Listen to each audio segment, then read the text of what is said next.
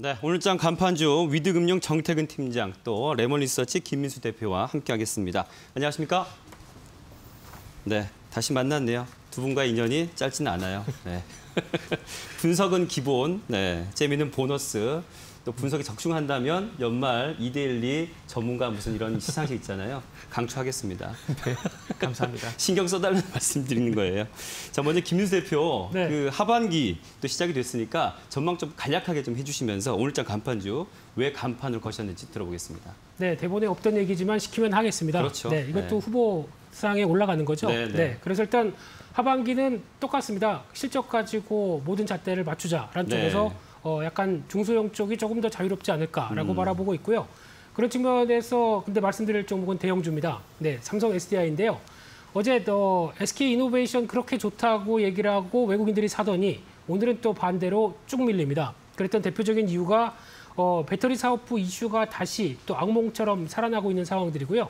과거 저희 LG화학이 물적 분할하면서 나왔던 충격들이 또 똑같이 SK 이노베이션까지 이어지는데 그러다 보니까 삼성 SDI에 다시 재조명이 가는 부분들이 삼성 SDI는 더 이상 뭐 분할할 것도 없습니다. 예전부터 어, 휴대폰 배터리와 관련된 쪽으로 계속 해왔던 사업이기 때문에 어, 그쪽에 특화돼 있다라고 하게 되면 이런 분할 이슈는 없을 것이다 라는 부분들 쪽에서 좀 더 자신감이 찾아 있는 상황들이고요.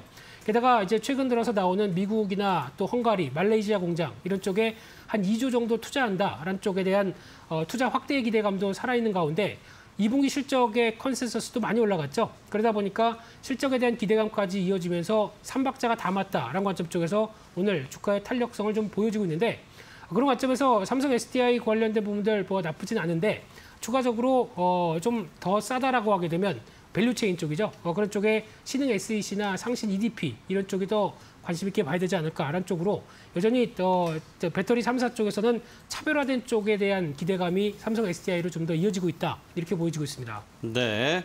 자, 그러면 우리 정태근 팀장도 하반기 전망은 어떻게 하시는지, 비슷하게 하시는지 또 오늘장 간판주 종목 선정 이유 들어보겠습니다. 네.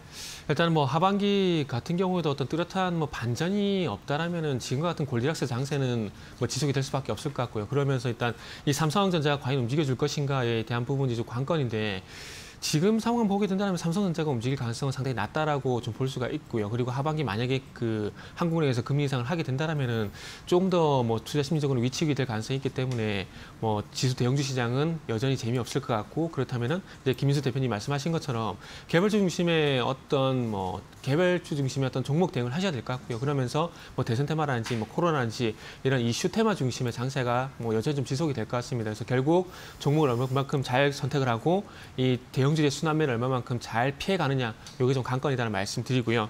그러면서 오늘 좀 이슈가 되고 있는 모회사를 어, 두고 있는 SKIE 테크놀로지를 준비를 했습니다. 네. 일단 이 어, 분할 이슈가 악재는 아니라고 생각을 하고 있습니다. 어, 일단 뭐 SK 만약에 이 SK 이노베이션 이슈가 악재였었다면은 SK IE 테크놀로지도 마찬가지로 하락을 해야 정상이지만 그렇지 않다라는 점에서 배터리 사업 부분에 대해서 좀 더 강화를 한다. 근데 이거 좀 더 노골적으로 말씀드리면 좋은 건 SK 이노베이션이 좀더 다 투자자보 그 주주들보다는 SK 이노베이션 다 취하겠다라는 점에서 같은 맥락이고요. 그리고 어찌 보면 그 김민수 대표님 말씀하셨지만은 LG화학이 또 물적 분할을 하게 되면서 단기간에 변동성이 있었던 것처럼 LG, 이노, LG SK 이노베이션도 같은 절차 좀 거친다고 봐야 될 것 같습니다. 하지만 주가는 흔들리지만은 회사의 수익성은 여전하다는 관점에서 봤을 때 이 배터리 사업 부분에 대한 부분들은 여전히 기대가 되고 있고요. 그러면서 이 모회사의 수혜를 좀 볼 수 있는 SK IE 테크놀로지의 주가는 여전히 견조하다라 볼 수가 있을 것 같습니다.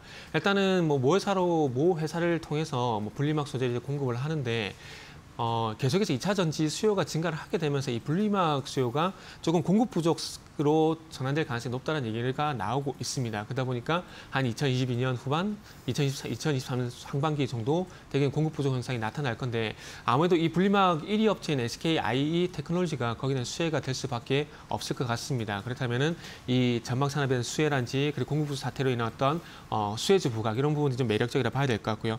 그러면서 이제 상반기에는 중국 그리고 하반기에는 폴란드 공장을 가동을 하게 되면서 이 분리막 생산 능력을 확대하게 되고 어, 다 걸지 모르는 이 공급 부족 사태에서 그 수혜주로서 그리고 거기에서 매출이란지 실적 부분도 상당히 좋아질 가능성이 높다라 볼 수 있을 것 같습니다. 그리고 차트적인 부분은 어쨌든 5일선을 추세로 완만하게 상당히 안정적으로 우상향을 하고 있기 때문에 뭐 지금 증시 지금의 어떤 변동성 그러니까 종목들 변동성을 봤을 때는 뭐 상당히 안정적이고 괜찮은 종목이다라는 말씀 드리고 싶습니다. 네, 지금 SKI 테크놀로지 18만 6,500원 선 전일에 1.91% 상승 중인데요.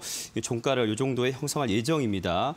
지금 시간이 한 조금 더 남아서요. 자, 김민수 대표님, 네. 혹시 또 간판주 중에 또, 또 주목하실 종목 또 하나 있을까요? 한 2분 정도 시간 드리겠습니다. 네, 감사합니다. 어, 시간 주셔서 감사드리고요. 오늘 어, TK 케미칼에 대해서 또 주가도 강하게 움직이면서 여러 가지 재조명이 들어왔는데 해운주가 다 가는 게 아니라 해운주 관점 쪽에서 어, TK 케미칼을 바라보는 입장이 SM 상선 지분이 있고요. 네. 게다가 또 대운하우, 대한해운 지분이 있다라고 하다 보니까 그에 따른 하반기 IPO 관련된 쪽의 모멘텀들도 같이 덧붙인다라고 하게 되면 오히려 이 부분이 좀더 어, 탄력을 받았다고 봐야 될 것 같고요.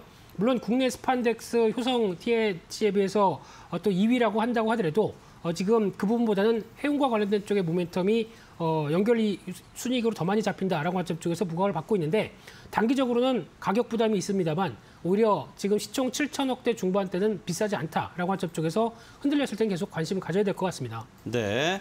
자, TK 케미칼 지금 소개해 주셨는데 8,260원 선에 지금 현재 7% 급등한 상황으로 종가가 형성될 예정인데요.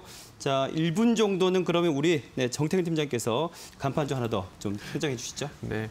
김희수 대표님이 안 그러셔도 되는데 일부를 나눠주시면 안 돼요. 야갔죠? 네.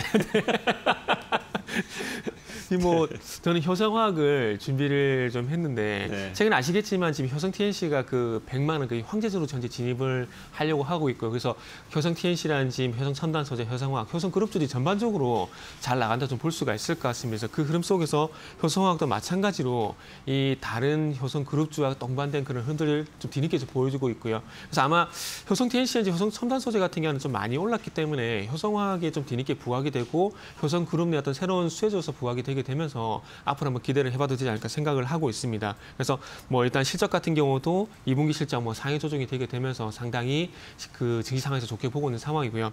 앞으로 반도체라든지 디스플레이 쪽에 삼브라질서 수익성의 어떤 개선도 반영이 되게 되면서 이 실적 개선이 2분기에 끝이 나는 게 아니라 3분기 그리고 4분기까지 이어질 수 있다는 그런 전망치가 나오고 있기 때문에 네. 최소 2분기 그리고 앞으로 3, 4분기까지 한번 보시면 좋을 것 같다라는 말씀도 좀 드려보도록 하겠습니다. 네, 효성화학 현재 8%대 급등하면서 38만 원 선에 거래되고 있어서요.